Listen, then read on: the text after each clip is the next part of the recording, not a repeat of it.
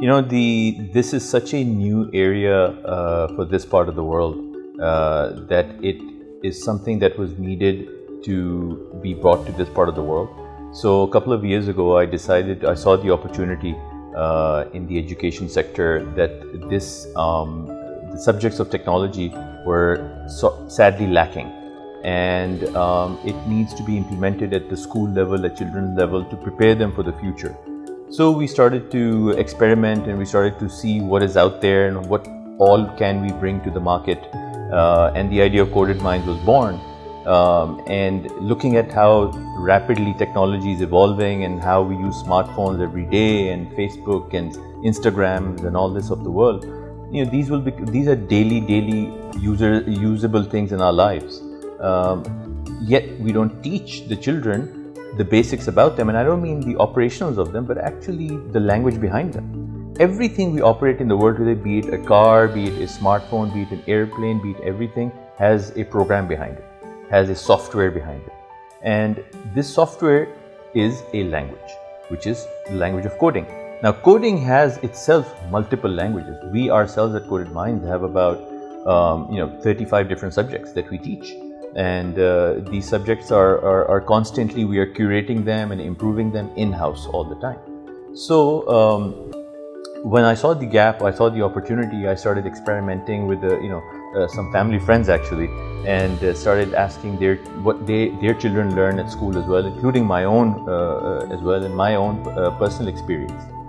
And then i found out that there was a massive gap in the market and that's why basically we do what we do at coded minds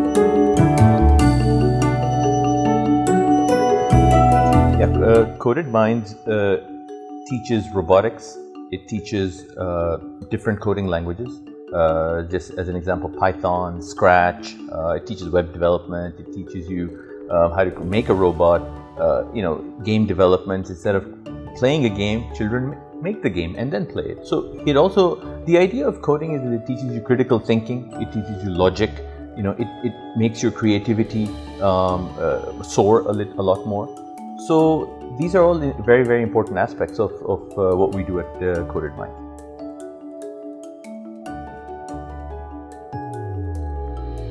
Yeah, actually, uh, uh, they are the future uh, content creators. Uh, number two, even if they do not want to go into, let's say, software development or something like that, these are tools that you would need in everyday life anyway. So it is like, you know, in, in history we learn math, science and all that, we will need to learn coding. Uh, so this is an extremely important aspect that eventually I want to be implemented in the Ministry of Education in the national curriculum. And that is the goal, uh, basically. Once that is done, I know that it is implemented in the schooling system and it's not just an after school activity, you know, like let's say learning ballet or playing football or things like that. This is actually part of the curriculum. Then I think we will be in a very strong position.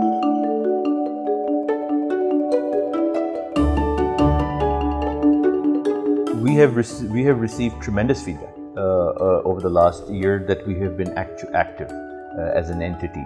Um, and over the last couple of months, especially, we have received all the relevant licenses uh, that are required. And uh, a lot of the schools who we partner with, um, some of the biggest schooling systems around the world, have now started uh, asking us to teach these subjects on their premises to their children.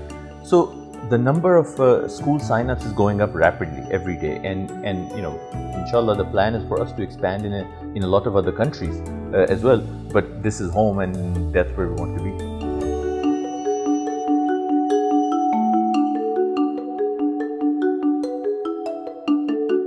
It's an excellent question. It is an excellent question. And that is that is one of the major goals uh, actually. Um, you know uh, to to coding is coding is itself a language actually. You see so it's not english it's not any other language. It's, it is a language on its own right? So people uh, children uh, adults whoever they all learn this language. It is they're learning a language per se. Now to translate that when you teach yes absolutely. We actually uh, funnily you said that in the summer we had an uh, excellent summer camp where we, we taught about 200 local students um, you know, and we had to we have to hire Arabic speaking teachers. So when they're teaching the subject, they can also teach, you know, translate it into Arabic and you know uh, deliver the deliver the actual content to the children in different languages. So yes, it is something that a challenge that needs to be overcome.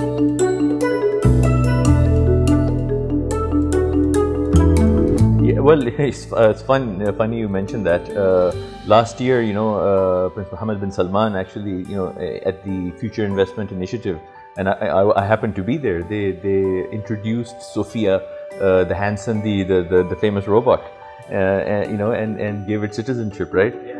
But, you know, the point here is that you know this is we cannot stop this. This will happen, you know, and and in a funny sort of a way you know, Hollywood has shown us through many movies, but it's actually true. This is actually happening. Things are changing. Technology is rapidly, rapidly evolving. And as a result of it, artificial intelligence is taking over.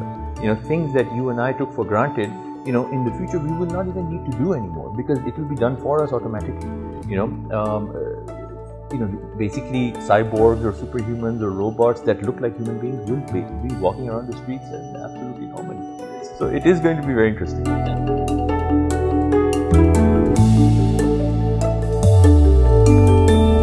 I, I actually think that because of how young our population is, uh, you know, we will catch up very, very quickly.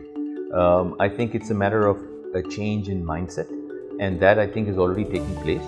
Uh, I think our young population is extremely hungry uh, to to uh, adapt because a lot of them have also been taught in the Western world right? So they know it already. They know how to do it. It's a matter of implementing it in, the, in your own market.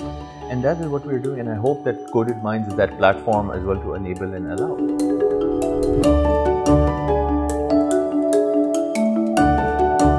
You know, it, it has already grown quite rapidly, right? Uh, within uh, our own region.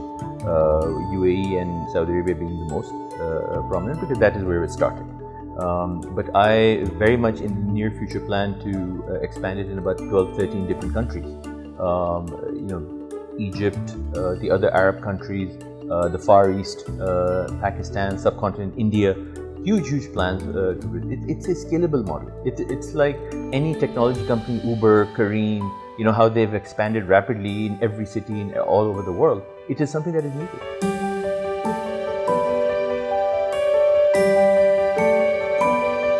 Absolutely, that that is a very very uh, valid point actually because um, one of the things I'm adamant on within Coded Minds is that every single teacher I hire, I want them, him or her, to be under 25. The reason I have is the personal bias that I have towards it is I believe that first of all they're freshly graduated themselves.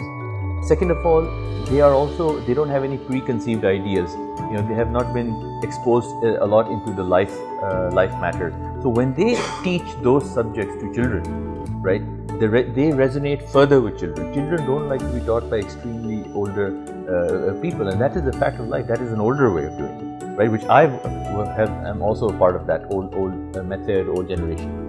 But this new way is uh, very much it is it is it is, and at the same time it creates jobs rapidly for a young economy.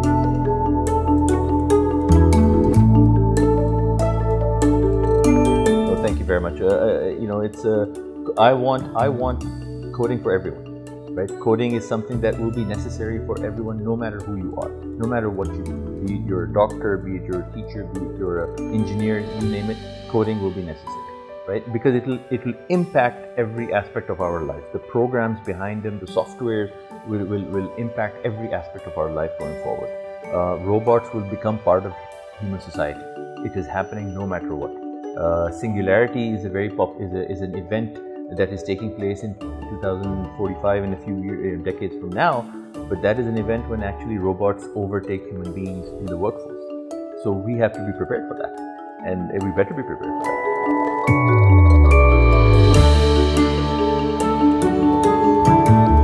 think uh, I think Saudi Arabia will be at the forefront. Uh, the way uh, you know Prince Mohammed bin Salman has, has started implementing changes uh, you know, we're extremely proud of them. Uh, and I believe the young population is an advantage. A lot of the, a lot of parts of the world, you know, the population is fairly balanced or a little bit on the older side. But we have a very young population, we should take advantage of that. So I think we should.